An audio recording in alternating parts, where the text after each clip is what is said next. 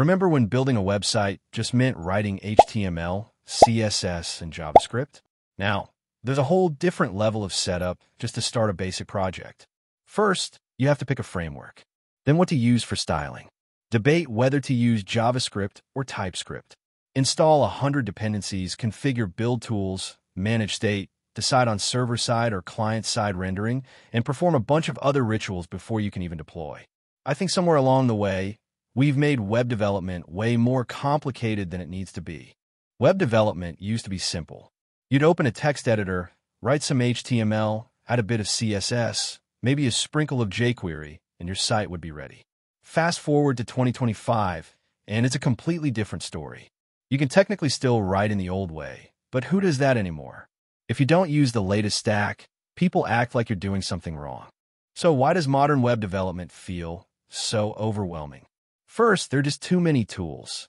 From starting a project to deploying it, you're juggling JavaScript and CSS frameworks, linters, formatters, state managers, bundlers, deployment pipelines, plus dozens of tiny node packages. Half the time, you're trying to make these tools work together, and that's before you write a single line of code. Sometimes it feels like we spend more time debugging our setup than actually building our apps. Second, frameworks never stop evolving. React, Angular, Svelte, Next.js, a new one pops up every few months promising to simplify everything, but instead, it complicates what we already know.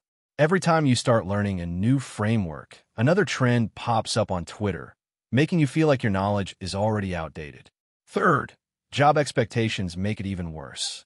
Companies want developers who are all-rounders. If you don't know everything, you feel behind. If you try to learn everything, you risk burning out. Put all of this together. Endless tools, constantly evolving frameworks, and unrealistic job expectations. And it's no wonder developers feel burned out, overwhelmed, and always behind. And here's the ironic part. All these frameworks, libraries, and tools were created to make development easier. Yet somehow, we've made it far more complicated than it ever needed to be. We spent decades trying to simplify the process of building websites, only to end up complicating it. Of course, it's not all just bad. These tools exist because users today expect faster, interactive, and feature-rich websites.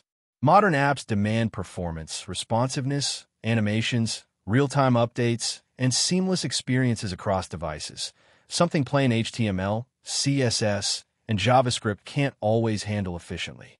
So yes, these tools are overwhelming, but they've become necessary to meet the needs of today's web.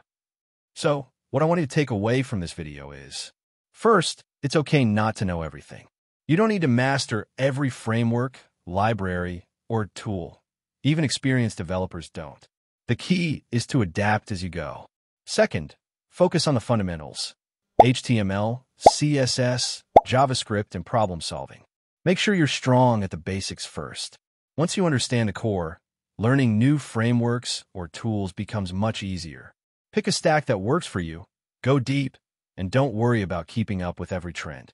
The goal isn't to chase everything, it's to build skills that last.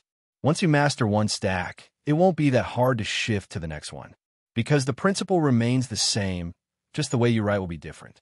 Finally, use tools intentionally. Don't try to cram every new tool you know into one project. Instead, understand what your project actually needs, its scale, goals, and users, and pick tools that genuinely solve a problem. The goal isn't to use more tools. It's to use the right ones that make your workflow simpler, not more complicated. At the end of the day, modern web development is overwhelming, but it doesn't have to be that way. Focus on the fundamentals, choose your tools wisely, and don't get caught chasing every new trend. So if you've ever felt lost in this mess, you're not alone. We've all been there. By the way, did you feel overwhelmed when you were learning web development? Drop your thoughts in the comments, and make sure to subscribe if this was helpful. I'll see you in the next one.